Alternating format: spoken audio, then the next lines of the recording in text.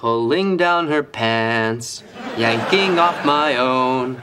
Underneath the mistletoe, I'll make your sister moan. Oh, Heather's odd, Heather's odd, we'll go all the way.